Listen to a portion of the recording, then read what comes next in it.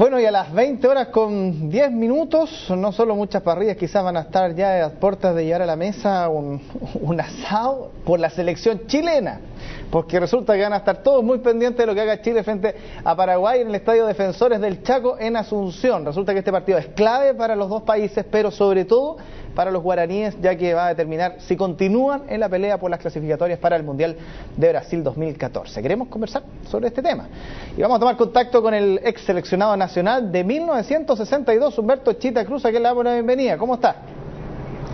¿Cómo está, Germán? Buenos días, encantado. Buenos días, a ver. Los paraguayos tienen una forma de juego bastante, bastante potente, eh, meten mucho la pierna, como se dice en el fútbol, y heridos debe ser peor. ¿Cómo debería enfrentar Chile este partido allá en Paraguay? Bueno, Chile, tiene que jugarlo, yo creo que un 4-3-3, eh, bien clarito y jugando bien al fútbol y no tendría problema, a pesar que Paraguay no está pasando por su mejor momento, pero es un equipo bastante difícil. Es más difícil cuando no tienen posibilidad de clasificarse que cuando van punteros.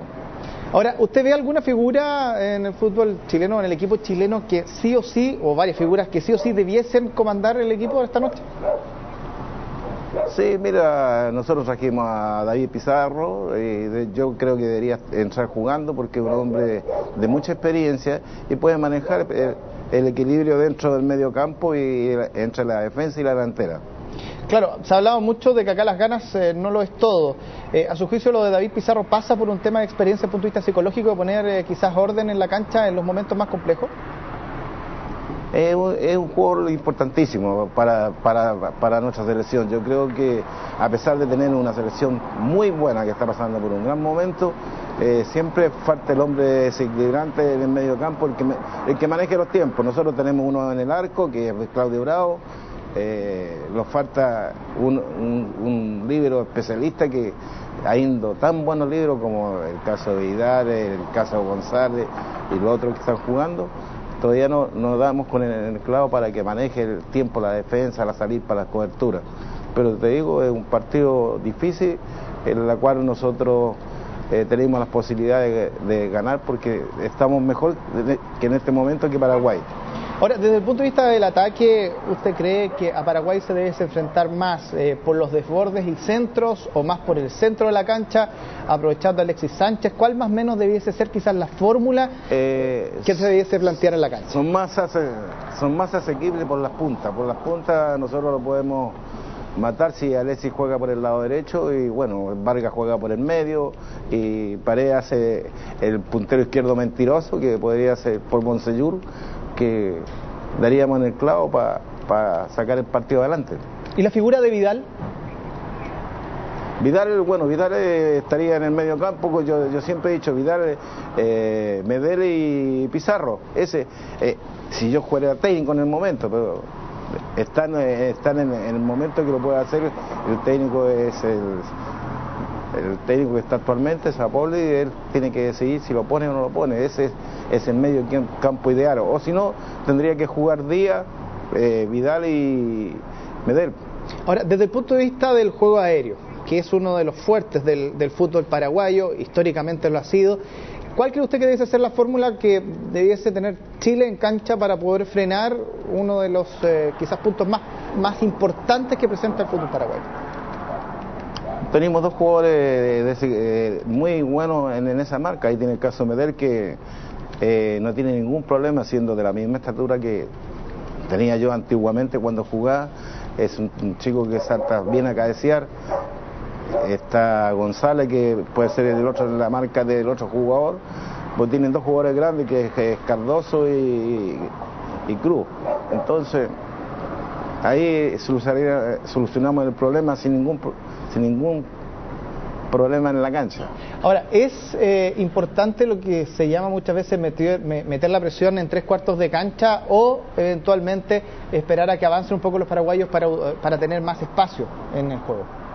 Bueno, Chile tendría que presionarlo arriba porque tiene jugadores para hacerlo, están acostumbrados a hacerlo y no te olvides que tienen una gran virtud, son muchachos jóvenes que pueden hacerlo eh, durante todo el partido. Tienen eh, en este momento la selección está pasando por un momento muy bueno que los jugadores están en la edad media todavía se pueden clasificar para este mundial y para otro mundial más.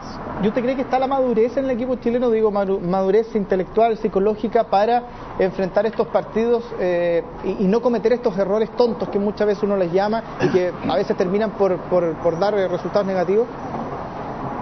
Bueno, la madurez se la ha ido dando todos estos traspiés que han tenido ellos durante los, los dos mundiales que tuvieron. No te olvides que una vez antes era el Mundial de Sudáfrica, tuvimos un traspié que le hicieron 4-0 en Uruguay por creerse el cuento que ellos podían ganarlo por, la juventud que tenían. Y se, comieron una goleada que no la esperábamos nosotros. y después, ahora en estos. Sí, sí, sí, cuéntame. Dime. No, no, dígame, dígame.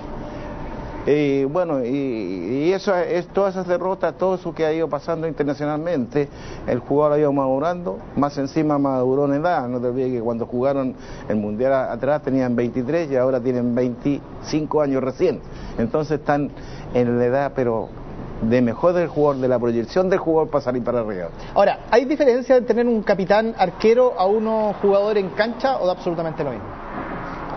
No, es igual, es igual, porque el arquero tiene una voz potente, Claudio en ese sentido es un jugadorazo. Y por último, si no, ahí tiene eh, uno en el medio campo, si tiene otro líder, lo maneja igual, como era el caso que está Chico Díaz de la Chile, y, y ahora si llega a jugar Pizarro, con mayor razón. Por último, no puedo dejar de preguntarle la llegada de Benítez a Colo Colo en esta nueva etapa. ¿Qué le pareció? Bueno, hay tantos entrenadores aquí en Chile bueno que resulta que cuando uno tiene, tiene que salir tiene que salir para extranjeros para hacer el buen técnico como el caso nosotros aquí teníamos un entrenador buenísimo en el 62 y se tuvo que ir de Chile porque lo reconocieron al final que habíamos hecho algo. Se fue a Europa y fue el mejor uno de los grandes técnicos como fue don Fernando Tú tienes el caso de Pellegrini tuvo que irse de la Chile porque no servía y de repente campeón en Ecuador, campeón en Argentina. Entonces, todas esas cosas, técnicos chilenos hay, bueno, es cosa de que le den la oportunidad.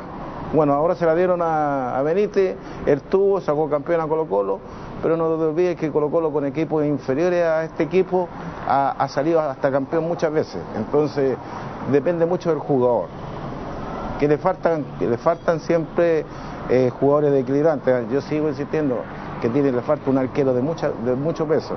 Siempre la, mejor parte, la, posibilidad de ganar los partidos se da por, el uno, teniendo un buen arquero, uno tiene las posibilidades de atajar. Y si tiene un buen medio campo, lo mismo. Y Colo Colo siempre ha sido de, equipo de que si tú le haces un gol, Colo Colo hace dos, si le hacen dos, hace tres. Bueno, Humberto Chita Cruz, muchas gracias por haber tomado contacto con nosotros esta hora de la mañana, ¿eh? que esté muy bien. Germán, es un placer.